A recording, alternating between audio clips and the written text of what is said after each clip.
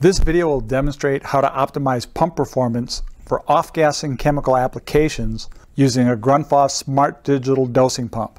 When off-gassing occurs, it can cause the pump to lose its prime.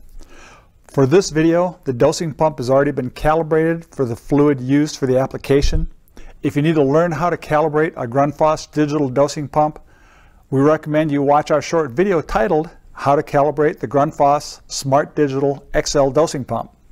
Because this video is about degassing, here's a quick demonstration to show the display on the pump during a proper compression and when there's a degassing of the fluid.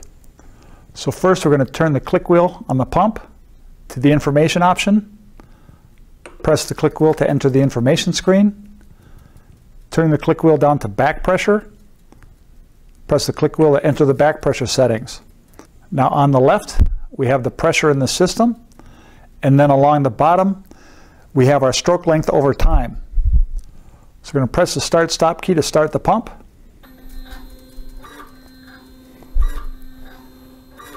And so now you can see that currently we have good pressure in the system and everything is operating properly.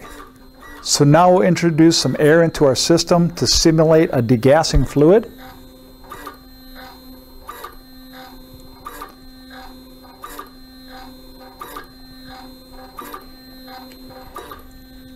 And so you can see when the air hit the dosing head, we have a loss of compression in the system. It takes a moment to compress the air out of the pump before it can continue to function normally. Now I'll press the click wheel and turn the click wheel back to our home screen option.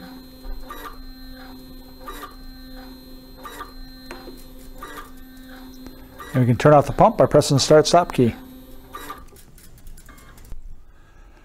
First function that we're going to demonstrate for this video is auto deaeration. The auto deaeration function avoids breakdown of the dosing process due to air locking when dosing off-gassing liquids such as sodium hypochlorite or peracetic acid. During long dosing breaks, air bubbles can form in the suction line and get into the dosing head. If too much air is in the dosing head and the dosing process is started again, no liquid will be dosed due to the airlock. Software-controlled diaphragm movements at regular intervals encourage the air bubbles to rise and finally be displaced out of the dosing head. So to set up auto deaeration, you turn the click wheel to the setup option then press the click wheel to enter the setup functions. Turn the click wheel down to auto deaeration. Press the click wheel to enter that function. Press the click wheel one more time to confirm the settings. And now you can see that we've checked auto deaeration. So now when we go back to our main screen, back at the home, now you can see the air bubbles there showing that we have auto deaeration set up. The next function that we'll demonstrate is the setting up of the slow mode feature on the digital dosing pump. Now it's important to note that the maximum rated capacity of the pump will be reduced when using slow mode. For example, our pump has a maximum dosing capacity of 2 gallons per hour during normal operation. There's a 50% reduction in the maximum dosing capacity when using the 50% slow mode and there's a 75% reduction in the maximum dosing capacity when using the 25% slow mode. For this demonstration, we set the flow rate at a half a gallon per hour because we want to demonstrate using the pump in the 25% slow mode option. So we'll start the pump by pressing the start stop key. Then we'll turn the click wheel to the setup option. And then press the click wheel to enter the setup functions. Then we'll turn the click wheel down to slow mode. And then press the click wheel to enter the slow mode functions. Then we'll turn the click wheel down to the 25% max slow mode and press the click wheel. Press the click wheel one more time to confirm the settings.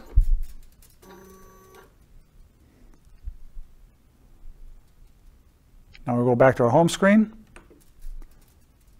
And now you can see the snail there indicating that we set up the pump for slow mode. I will start the pump by pressing the start stop key. And now you can notice how the suction stroke has slowed down to help prevent the off-gassing of the chemical. Also notice that the pump is still discharging the half a gallon per hour to the system. Now I'll press the start stop key to stop the pump. And the next function that we'll demonstrate to help prevent off-gassing is the auto flow adapt. The integrated auto flow adapt makes additional monitoring and control devices redundant. For this application, the system that we're dosing into has a normal system pressure of 50 psi. However, we know that the system has been known to have fluctuations. We already have our flow rate set for half a gallon per hour and our pump is operating normally.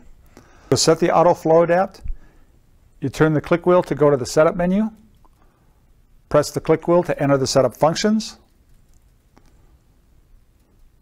turn the click wheel until you get to auto flow adapt, press the click wheel to accept those functions, Press the click wheel again to confirm the settings.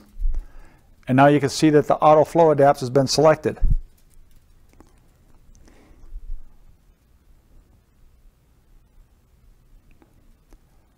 Now we'll go back to our main screen. So now to demonstrate how the pump responds, once we set up the auto flow adapt, we're going to go back into our information screen. We'll turn the click wheel down to back pressure. Press the click wheel so we can get our back pressure graph. So I'm going to press our start stop button.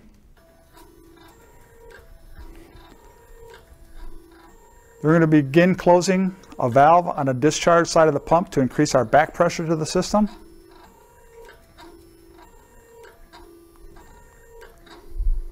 Now that we've changed the back pressure to our system, you can observe the changes in the graph as well as the pump speed. The pump is adjusting the motor speed to compensate for the increased system back pressure and it continued to give the same target flow output. So now we'll go back to our home screen.